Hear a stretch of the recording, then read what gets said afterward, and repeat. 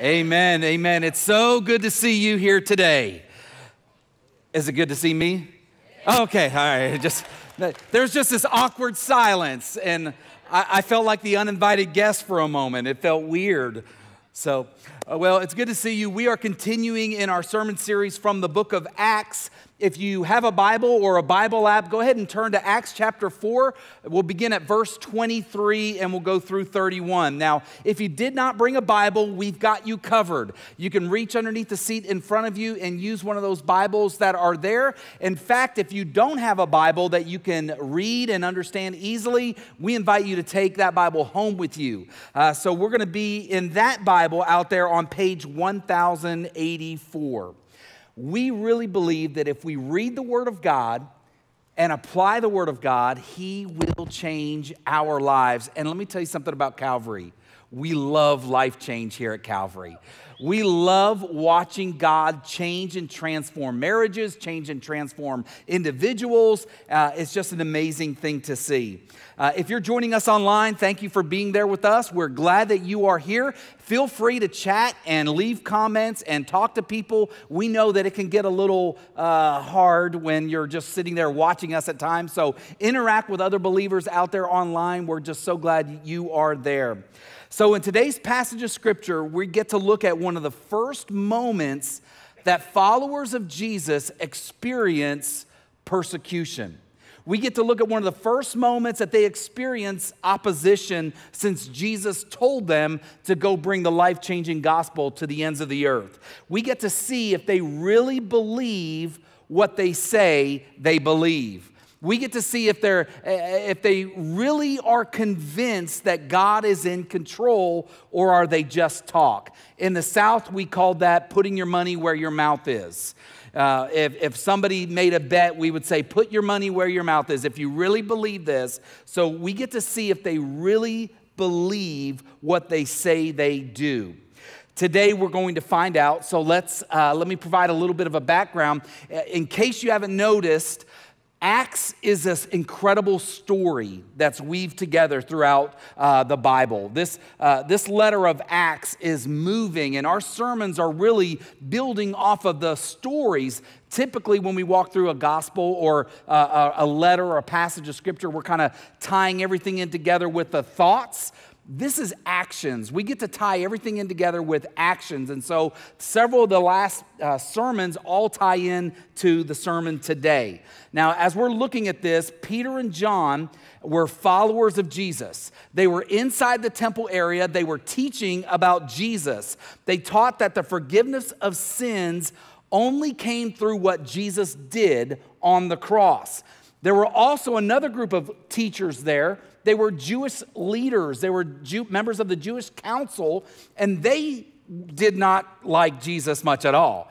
Uh, they were not fans of Jesus at all. They weren't fans of followers of Jesus at all. In fact, they taught exactly the opposite. They taught that in order to get to heaven, you had to obey all the commands in the Old Testament, and then, if you were lucky, you got into heaven. So, for the record, just so you know, the same message that Peter and John preached is the same message that Calvary teaches today. We teach the life changing message of the gospel that Jesus paid the penalty for our sins on the cross, that Jesus died, that Jesus rose from the dead, he ascended into heaven, and that if you and I want to experience that life change, you and I need to make a decision to receive Jesus as our Savior and our Lord. Now, I did that in 1991. If you would like to commit your life to following Jesus, we'll have members of the prayer team here at the close of our service. If you want to experience the life changing, transforming power of the gospel, we'll have members of our prayer team here at the front. They would love to talk with you about that. Now, uh, after Peter preaches this message of hope, uh, after Peter preaches this message, the Jewish leaders were ticked off. They were angry. They huddled together. Uh, they pulled one another aside and said, We've got to do something about this. And they looked, and everybody was celebrating because of this message of hope. They saw that this man, there was a man that had been crippled, that was healed. They weren't really sure what to do about it, but they knew that if they punished Peter and John too much, then the people would revolt and not listen to anything that they have to say. So they pulled Peter and John to, uh, together and they threatened to punish them if they continued to talk about Jesus. Essentially, they threatened them and said, Look, we're going to let you go this time, we're going to let you off the hook. But if you teach any more in the name of Jesus, we will punish you. It's basically like your mom and dad telling you to do something and then saying, or else, right? Or else. Have you ever lived underneath a threat? This was Peter and John. They were members of the Jewish community. And now the Jewish leaders said to them, Talk no more in the name of Jesus, or else something bad is going to happen to you.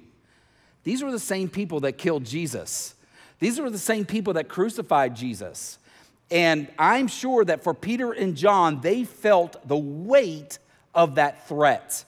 Have you ever lived underneath a threat?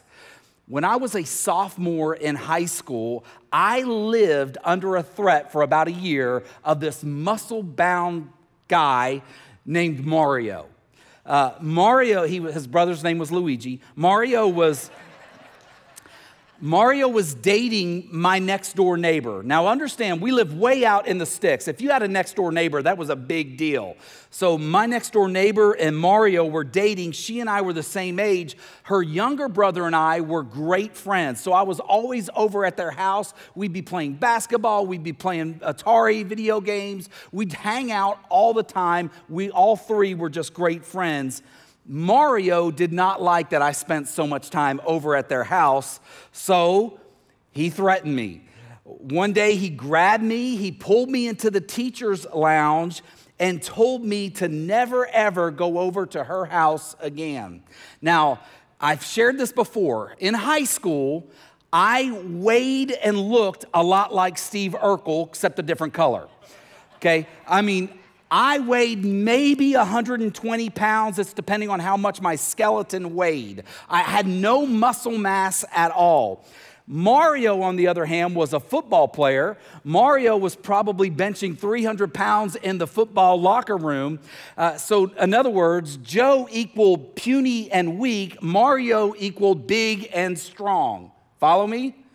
So, Mario grabs me, he tells me, don't ever go over to her house again. Now, I was away from my family. I had grown up with brothers and sisters, but now I was living with my grandmother, and I had no other family but my neighbors. And so now I'm choking up, I'm fighting back tears because I'm angry. And I looked at him and I said to him, I'm going to go over there. They are my family. They are my brothers and sisters. They, they, they are close, and you cannot stop me.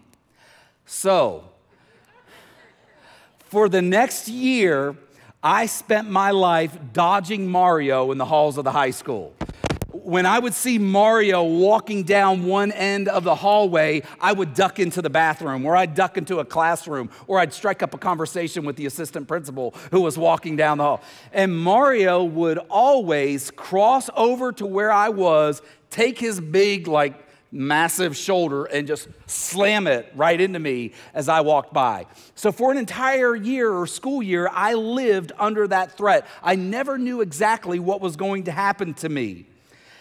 Thankfully, my next door neighbor broke up with him, and that ended that season of threat, if you will. So, raise your hand. It's time for raise your hand time with Pastor Joe, okay? Raise your hand if you ever felt threatened by somebody when you were in school. Okay, raise your hand if you were threatened and you tried to avoid the person like I did. All right, raise your hand if you were threatened but you stood up to him and punched him in the eye or something. Okay, a few heroes, thank you. Raise your hand if you were the person that did the threatening. Aren't you grateful for life change? Aren't you grateful for life change, right? I mean, that's how the life changing power of the gospel changes lives. So we have those who were in the room that were bullies, and we have those who were bullied, and we all follow and worship now the same God. He brings life change, and I'm so glad that He does. Let's take a look at how Peter and John responded to the threats against them. Now, what we're going to do with this passage of scripture is we're going to Oreo cookie it. You know how I eat Oreo cookies? I'll take the top off and I'll eat the top. Then you take the filling off and you eat the bottom. And then finally you eat the filling, okay? We're gonna look at the top of the passage of scripture from Acts 4 uh, 23. And then we're gonna look at the bottom. And then we're gonna go back and look at the filling. You follow me? You good? Okay. Acts 23 24, and then we'll jump to verse 31. When they were released, they went to their friends and reported what the chief priests and the elders had said to them. And when they heard it, they lifted their voices together to God. Now skip to verse 31. And when they had prayed, the place in which they were gathered together was shaken, and they were all filled with the Holy Spirit and continued to speak the word of God with boldness. Now, this was a moment for Peter and John when they really were not sure what they were supposed to do. The Jewish leaders were the very same people that had threatened Jesus, that had chased Jesus for three years, and had, falsely accused Jesus of crimes. These were the same Jewish leaders that bribed Judas and persuaded the Roman authorities to brutally and publicly beat, whip, and crucify Jesus. And now these leaders had just threatened them.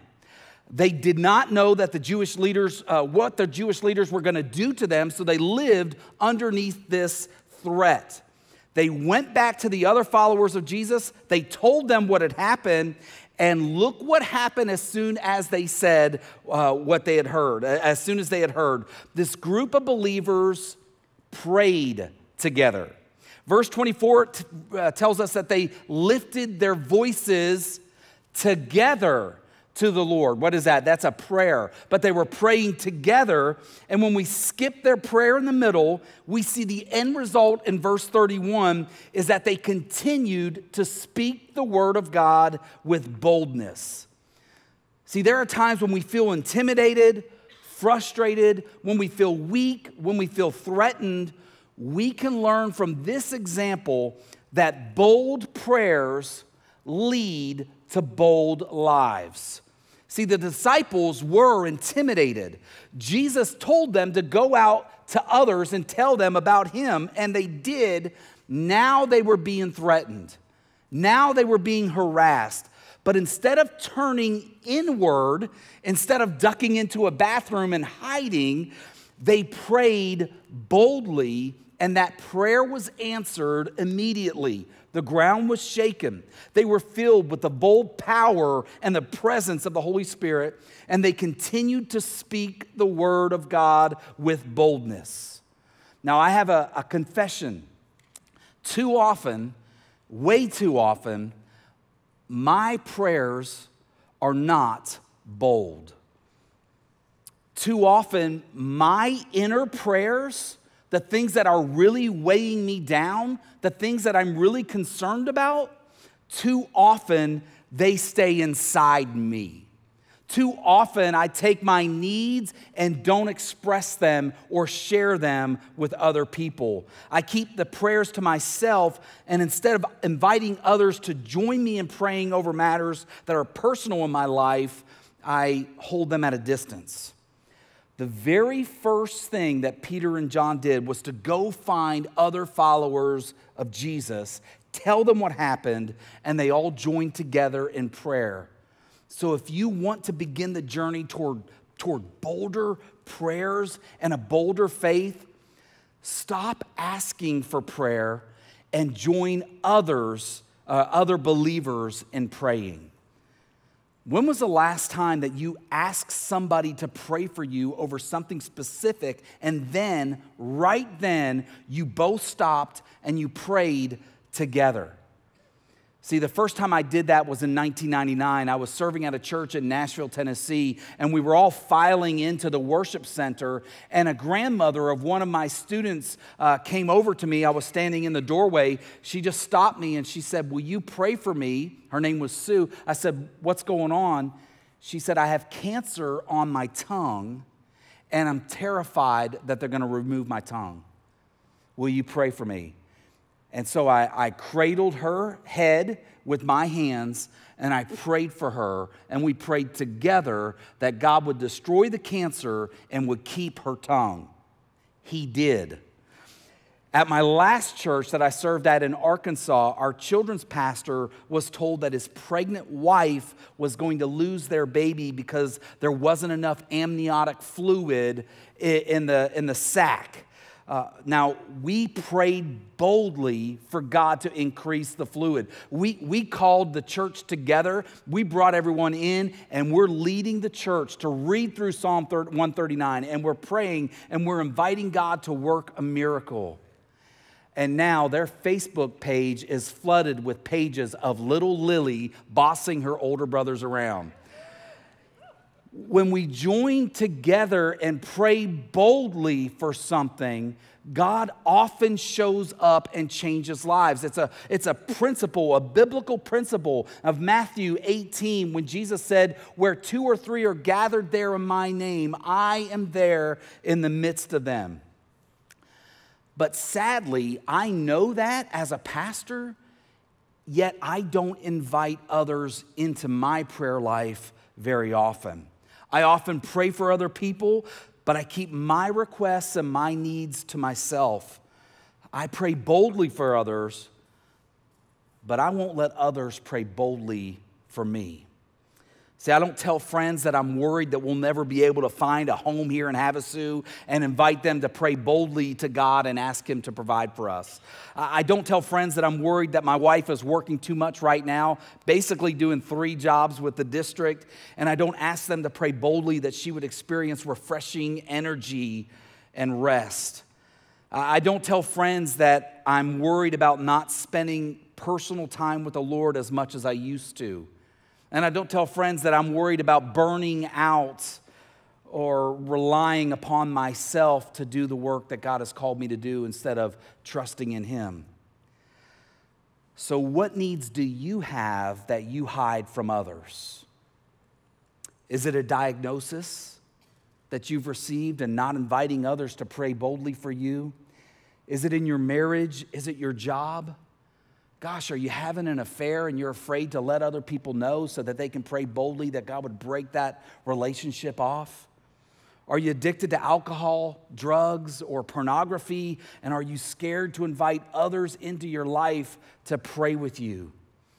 Again, our prayer team will be here at the close of our service after that last song. They would love to pray with you over any need that you have. They would be honored to bring your request to God, to lift them up because they love you, and we believe that God will answer prayers. Are you willing to let your guard down? And we all have them.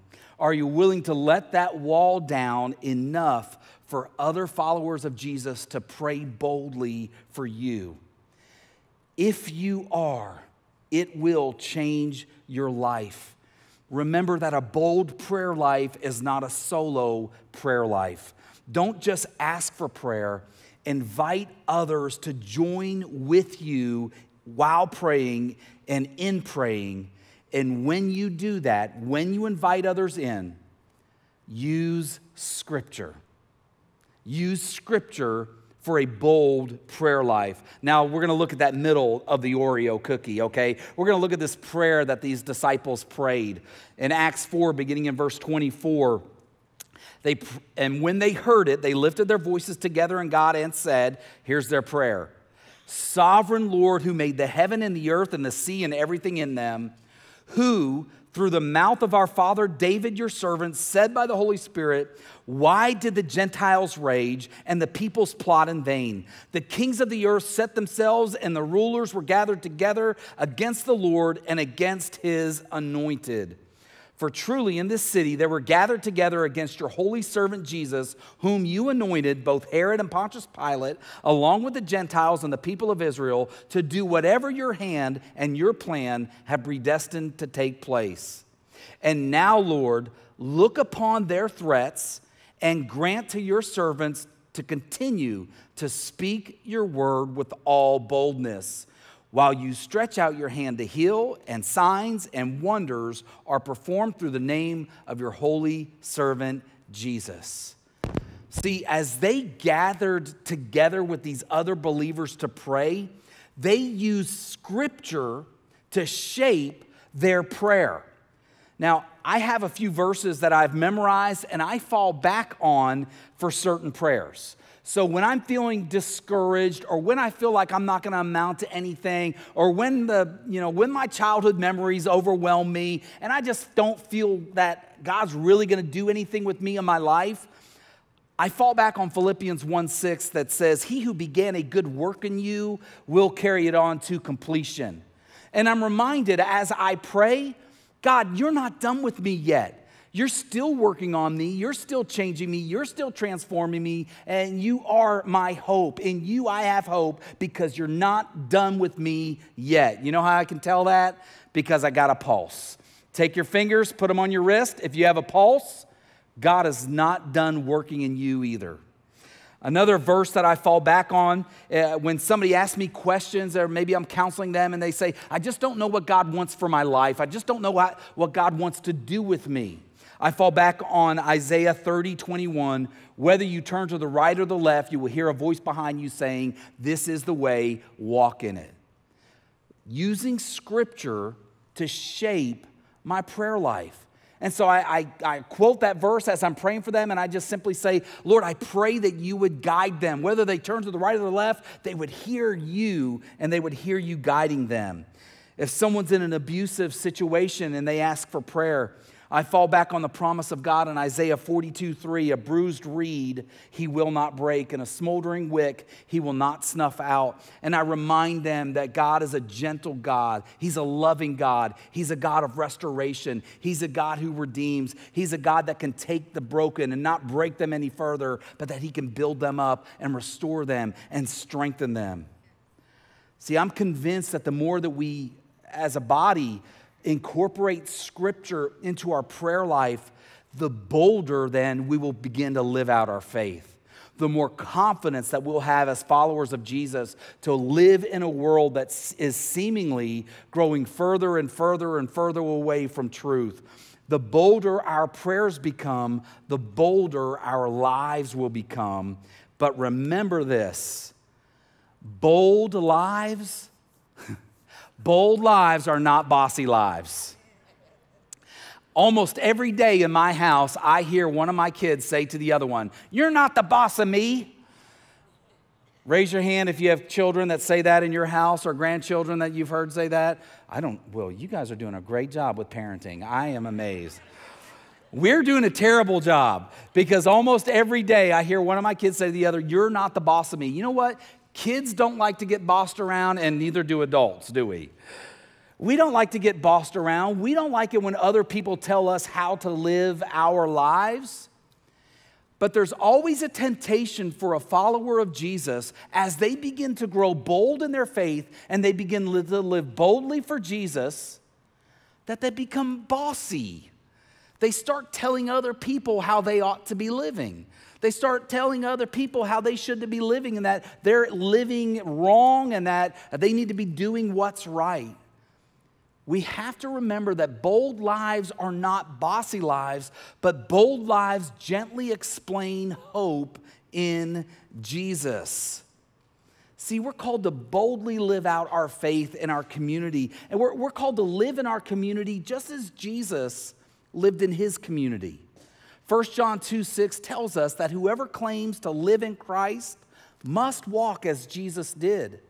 And just as Jesus moved and worked in his community, we are called to walk in our community the very same way. That means we care about those who are broken, those who are hurting, that we don't go to them with a haughty spirit or a judgmental attitude or a holier than thou uh, mindset. We go to them in our own brokenness as followers of Jesus. We love them, we encourage them, we speak words of hope to them because we all acknowledge you and I want to be spoken to that way as well. We want to be encouraged. We want to be built up. We want to be loved. And God has called us to love others as He has loved us.